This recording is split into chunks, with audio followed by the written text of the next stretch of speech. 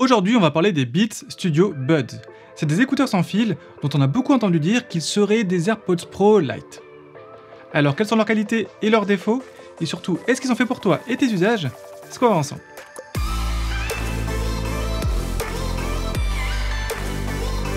Bonjour à tous, c'est Kevin, bienvenue sur la chaîne e-Bordelais. Sur cette chaîne, je vous parle de technologie en transformant le terme technique en usage pour que vous soyez sûr d'acheter le bon produit et que vous sachiez comment l'utiliser. N'oubliez pas, il y a au moins une vidéo par semaine sur la chaîne, donc pensez bien à vous abonner. Aujourd'hui donc, on s'intéresse aux Beats Studio Buds.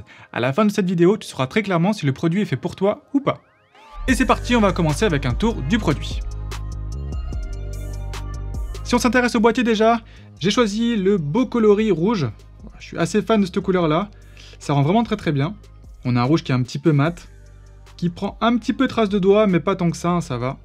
Le boîtier donc est au rouge, le logo Beats juste ici, le port USB-C ici, et là j'ai une petite LED. Niveau taille, c'est un petit peu plus gros que ce qu'on a l'habitude de voir. Par exemple, hein, par rapport à une boîtier de AirPods 2, on voit que c'est quand même un peu plus gros. Mais par contre, hein, si je compare au Sony XM3, là il n'y a pas photo, c'est quand même beaucoup plus petit. Donc au final, aucun souci hein, pour l'entrer dans une poche. Si on découvre maintenant les écouteurs, là on va voir par contre que eux sont vraiment hyper compacts. Première chose hyper sympa, c'est que je peux les attraper très facilement. En fait, on voit que là ça dépasse un petit peu, hop, j'ai pour les attraper comme ça.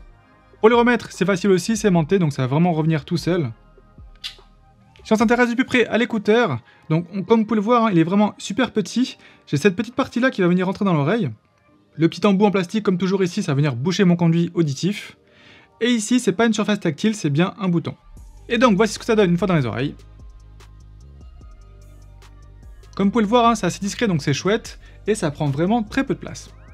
On va maintenant parler du confort. Comme vous l'avez vu, hein, c'est des écouteurs intra-auriculaires, mais ceux-ci ont l'avantage de pas non plus rentrer trop profondément dans le conduit auditif, donc c'est assez agréable à porter. Chose sympa en plus, c'est qu'il y a des évents là qui sont juste là ici, donc en gros l'air va pouvoir traverser l'écouteur, et ce qui fait qu'on n'aura pas l'effet bouchon, qui est souvent assez désagréable.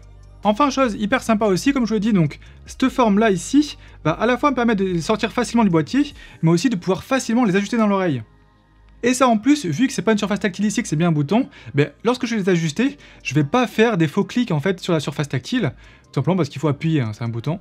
Et donc grâce à ça, même si j'ai besoin de les ajuster de temps en temps, ben, c'est vraiment hyper facile. Bien sûr, ils sont fournis avec différents embouts, donc il y a les M de déjà installés, et donc je vais avoir aussi les S et les L dans la boîte. Le poids est en plus bien réparti, donc on n'a pas vraiment de fatigue à la longue. Et donc au final, à niveau confort, c'est vraiment super. Bah, je les ai gardés une bonne après-midi dans les oreilles. Ils sont très légers, très petits dans l'oreille, j'ai pas d'effet bouchon. Et en plus, je peux les ajuster hyper facilement, donc c'est vraiment super. Niveau maintien, j'ai pu courir avec et vraiment pas de soucis. En plus de ça, ils sont certifiés IPX4, donc totalement résistants à la transpiration. Et j'ai pas plus que ça de prise au vent, donc pas de soucis pour courir. On va maintenant parler de la connexion. Niveau appairage et stabilité du Bluetooth, c'est très bien. Alors pour l'appairage, c'est hyper facile et en plus là, cette fois, qu'on soit sur Android ou sur iOS. Tout ce que j'ai à faire, c'est ouvrir le boîtier et automatiquement j'ai un pop-up qui apparaît sur mon écran. J'ai plus qu'à mettre appairé et c'est bon, les écouteurs sont connectés. Malheureusement, j'ai pas de Bluetooth multipoint, donc je pourrais pas connecter les écouteurs à deux appareils en même temps. Mais en même temps, ce que j'aime bien, toujours pareil, hein, c'est le petit bouton donc juste ici. J'ai juste à rester appuyé, il rentre en mode appairage et je peux l'appairer à nouveau l'appareil. Niveau codec, j'ai droit qu'à du SBC et du AAC. Dans cette gamme de prix, c'est un petit peu normal, hein, c'est assez rare qu'on ait plus, ou alors c'est au détriment d'une autre fonction, comme c'est le cas par exemple sur le Sennheiser CX, où là du coup j'ai pas de réduction de bruit active, mais par contre j'ai la PTX. Pour rappel, hein, avoir des codecs meilleurs que du SBC ou du AAC, ça permet d'avoir un son qui est à la fois moins compressé, mais aussi ça permet aussi d'avoir moins de latence. On va maintenant parler des fonctions.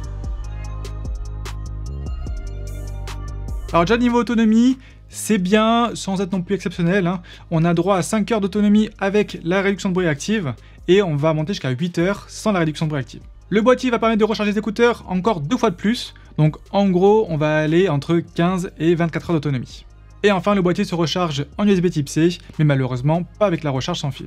Niveau commande, comme je vous l'ai dit, on va devoir appuyer sur le petit bouton qui est ici.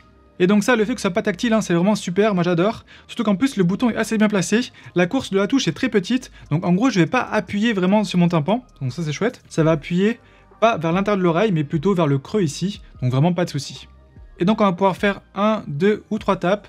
Chose à savoir, c'est que la commande n'est pas différenciée à gauche ou à droite. Donc un tap ce sera le play pause, deux tapes chanson suivante, trois tapes chanson précédente. Et après je peux choisir par contre qu'est-ce que va faire l'appui long. Malheureusement, j'aurai que le choix entre le contrôle de réduction de bruit active et transparence, et enfin l'appel à l'assistant vocal. Et là par contre, je peux différencier à gauche ou à droite. Tout ça, je peux le régler dans l'application, donc juste ici. Et du coup, je peux très bien différencier à gauche le contrôle du bruit et à droite mettre l'assistant vocal. Malheureusement pour les contrôles, vous l'avez sûrement remarqué, mais je peux pas régler le son directement sur les écouteurs, et ça c'est vrai que c'est un petit peu dommage. Si on termine avec l'application, bah, elle est vraiment super simple, très épurée. Alors au final on peut pas faire grand chose, si ce n'est régler ça ici. Et enfin je peux aussi régler la réduction de bruit active, la désactiver ou le mettre en mode transparence. Mais rien de plus. Et donc malheureusement du coup pas d'équaliseur pour personnaliser son son. Mais du coup ça les rend hyper faciles à utiliser. Et enfin, chose un petit peu dommage, parce que ça maintenant c'est quasiment là sur tous les écouteurs, c'est que j'ai pas le play pause lorsque je vais retirer un écouteur. Donc voilà, donc si jamais je retire un écouteur, ben, la musique va continuer. On va maintenant parler de la réduction de bruit. Compte tenu du prix des écouteurs, donc on est en dessous des 150 euros, honnêtement la réduction de bruit fait largement son boulot. Forcément, on n'est pas au niveau des nouveaux écouteurs qui viennent de sortir à plus de 200 euros, mais en même temps c'est un petit peu normal. Et donc à ce prix-là, on a une réduction de bruit qui est particulièrement efficace sur tout ce qui est grave. Dès qu'on va s'approcher des médiums, des aigus, sera un petit peu plus compliqué. À l'usage, ça va être du coup hyper efficace sur tout ce qui va être les bruits un petit peu sourds, les bruits de transport et tout ça. Par contre, pour tout ce qui est bruit de voix humaine par exemple, là ce sera beaucoup moins efficace. Mais bon, dès qu'on met un petit peu de musique, voilà, moyen volume, honnêtement, on peut vraiment se créer sa bulle. Niveau bruit blanc, il y en a vraiment très très peu, hein, même sans musique, donc ça c'est chouette. Vous savez, le bruit blanc, c'est ce petit bruit un petit peu sourd qu'on a lorsqu'on active la réduction de bruit active sur certains écouteurs. Là, vraiment, ça s'entend presque pas. Et enfin, le mode transparence, donc ça en gros, c'est le mode qui permet de contrer la réduction de bruit passif qu'on a avec les embouts des écouteurs qui rentrent dans l'oreille. Ben, ce mode-là, il est vraiment hyper efficace. Voilà, j'ai pas l'impression d'avoir les bruits qui sont trop forts par rapport à la réalité. C'est vraiment très bien maîtrisé. On va maintenant parler du son.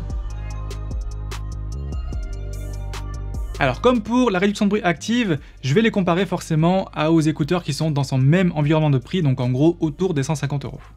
Premier truc que j'ai noté qui m'a vraiment agréablement surpris, c'est que la signature sonore de Beats a vraiment beaucoup évolué depuis les premiers casques qui crachaient vraiment que des graves, des graves et encore plus de graves.